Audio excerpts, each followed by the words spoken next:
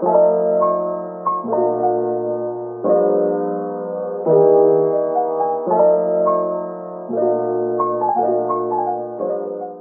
everyone, welcome back to my channel. Today I'm going to talk about something I think a lot of us can relate to. Art fear.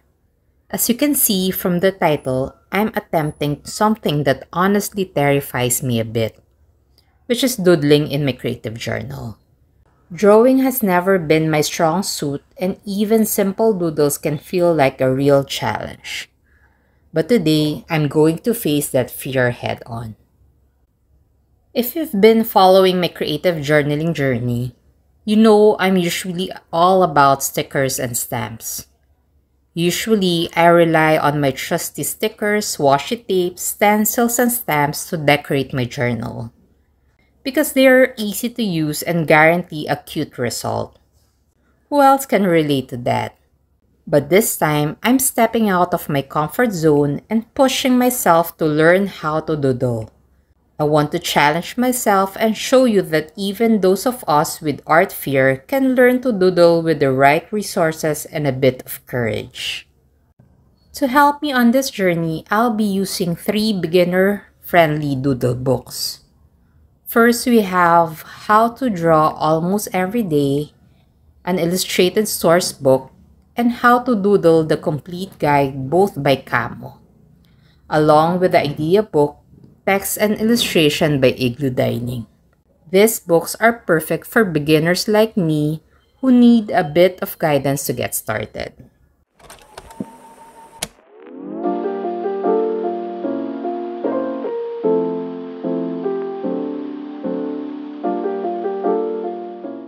Let's start with How to Draw Almost Every Day by Kamo. It has super cute, simple illustrations with easy to follow steps. The pros are definitely the variety of illustrations and how it encourages daily drawing practice. The step-by-step -step instructions are great for nervous beginners like me. A small downside is that some drawings might look intimidating at first glance like drawing of people characters so some steps could use more detail. So you might need to build up courage for the more complex designs. Here, I'm sharing a quick flip through.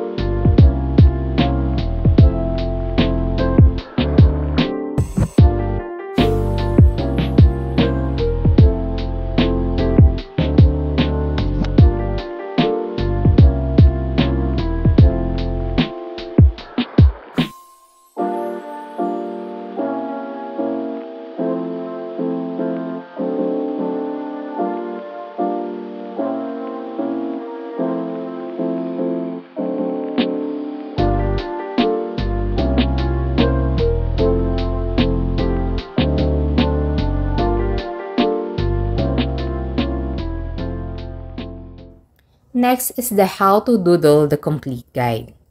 This one is full of kawaii style doodles which are just adorable.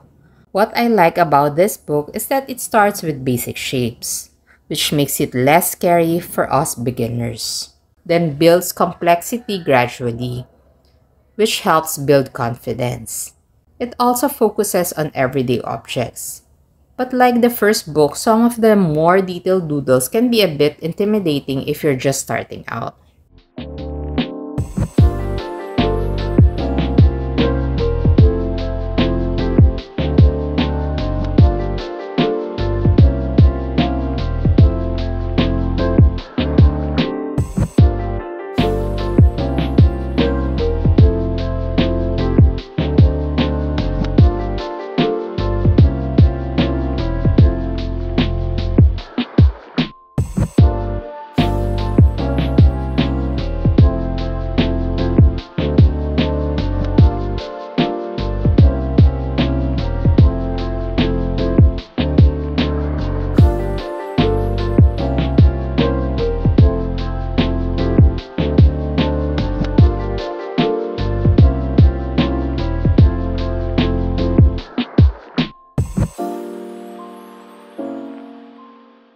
What I love about both Kamo books is the index pages at the back, which lets you quickly find the object you want to draw, so it is so convenient.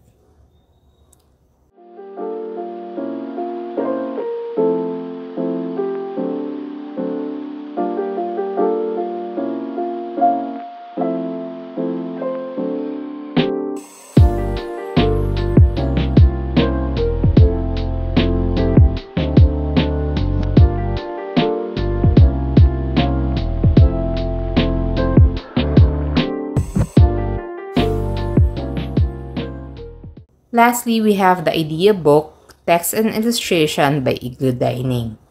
It's more idea-based than step-by-step, -step, so it's great for sparking creativity.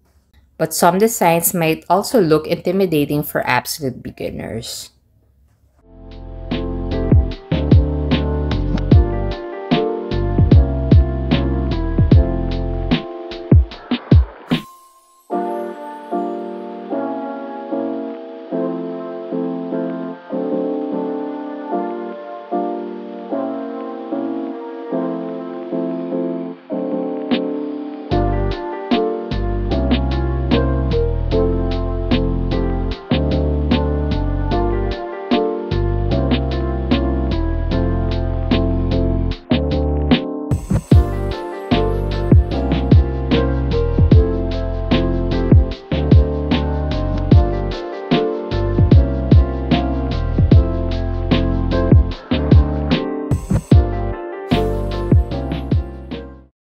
So today, I'm challenging myself to doodle about a pizza date I had with friends.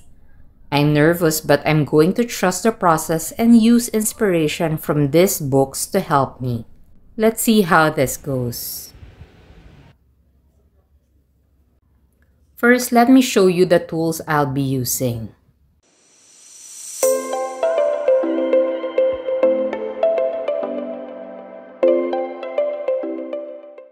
A mechanical pencil, a Unipin fine liner with a 0.1 tip. So this pen is perfect if you plan to use brush markers or watercolors afterward because it won't smudge when you apply water-based media over it due to its waterproof ink. And an eraser from Muji.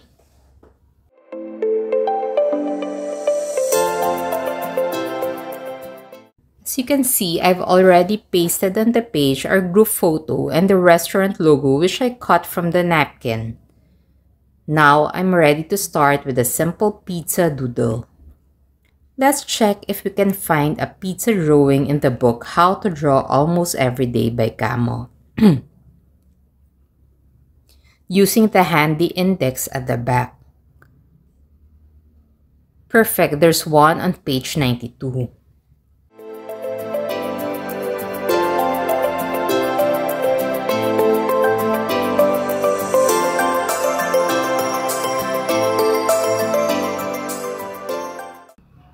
As you can see, this page provides step-by-step -step instructions on how to draw a pizza and its toppings. It, it might look so simple, but for absolute beginners like us, this is exactly what we need. I'll start by sketching it out lightly with a pencil first. Using a pencil allows us to make mistakes and easily correct them which is especially helpful when you're not fully confident with your drawing skills. Since we're all total beginners here, let's stick with the pencil first.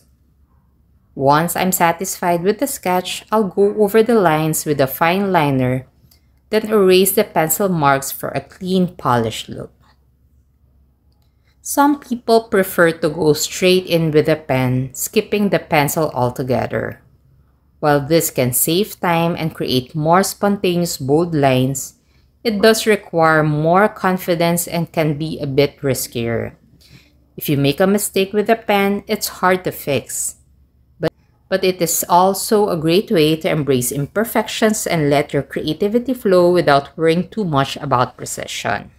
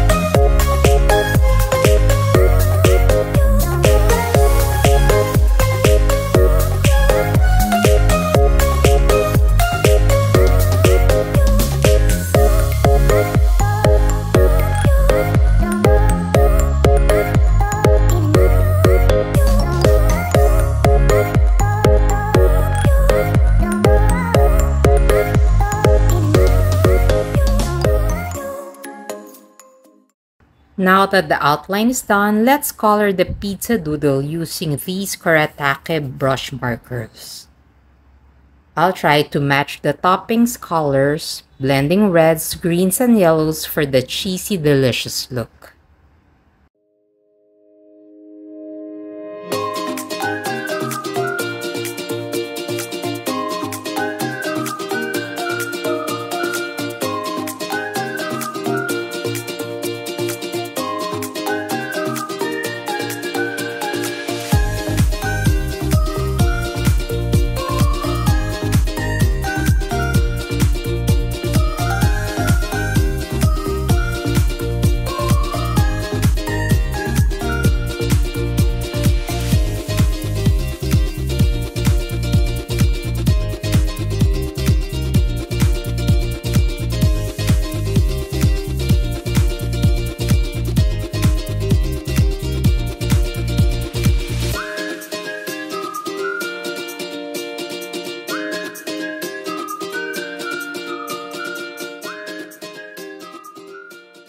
Next, let's add a date.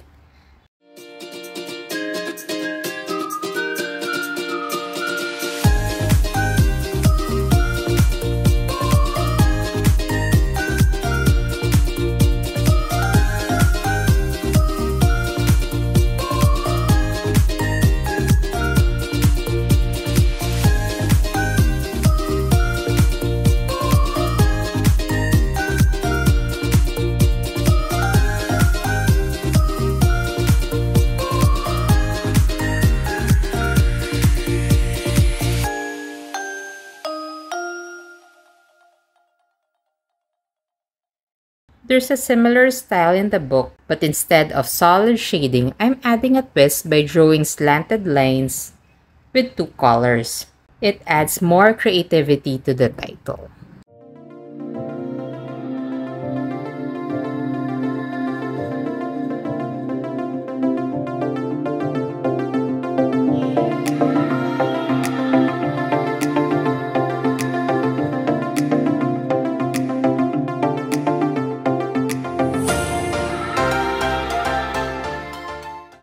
Now I'd like to add a decorative line below the restaurant logo. Let's check the index again to see if the book has any ideas for lines and borders. Looks like there's something on pages 188 and 200. Let's take a look. Here on page 188, I found a simple line design that's perfect. I'm going to follow this one using green and yellow-orange brush markers to tie in with the rest of the color palette.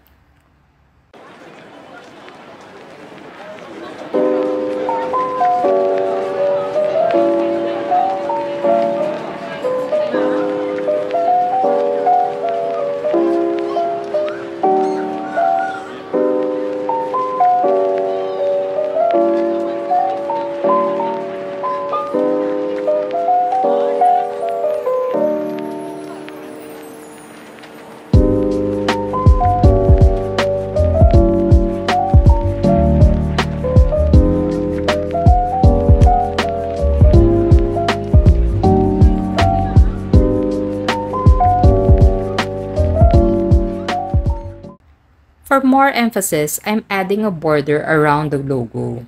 And I'll shade it with a brown colored pencil to give it a softer, more natural look. So here's a quick journaling tip. When decorating your pages, try to choose a color palette that complements your main elements. It can really tie your whole page together. Here, I'm using red, green, yellow, orange, and brown to match both the pizza illustration and the red color in the restaurant logo.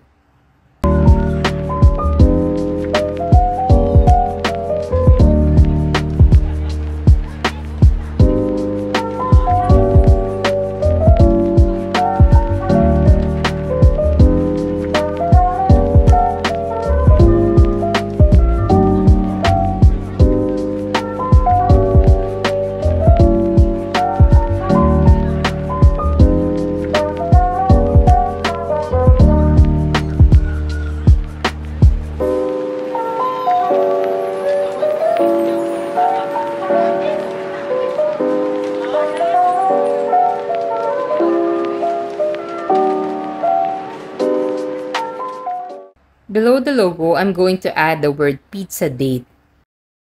To make the lettering stand out, I'll shade it with a red brush marker.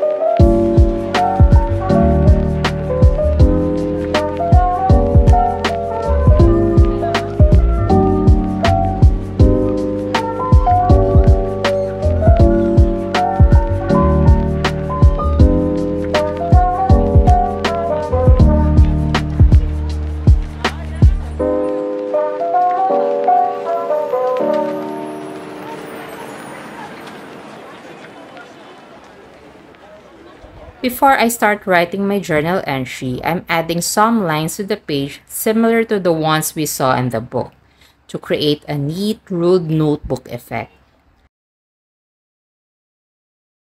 Now that we've finished our doodles, let's write about what happened that day. Using one of my favorite writing pens, a Muji gel pen in black, I'm writing about our fun meetup with friends at Shakey's Magallanes.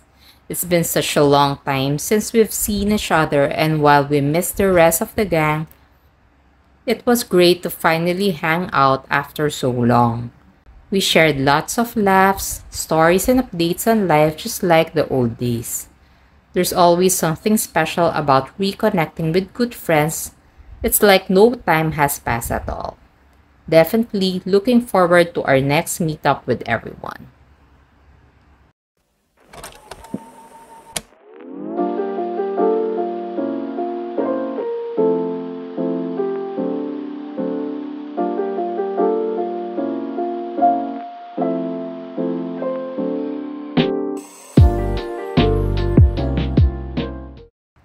Okay, here's the finished page. Looking at this page, I can see it's far from perfect, but you know what? I'm incredibly proud of it. This page represents so much more than just a pizza date. It's a visual reminder that I faced my art fear head on. If you're watching this and thinking, I could never do that, let me tell you, yes, you absolutely can. Remember, I started this video nervous, but with the help of this beginner-friendly books and a willingness to be imperfect, I created something meaningful. I hope this video encourages you to take the first step in overcoming your own art fears, especially if you're just starting out. Remember, it's all about enjoying the process and having fun with your creative journey. Before we go, I'd love to hear about your own creative journey, so leave a comment below sharing what creative fear you'd like to overcome. Who knows, maybe we can face our fears together in future videos. Thank you so much for joining me on this scary but exciting journey. Until next time, stay creative, stay courageous, and keep journaling.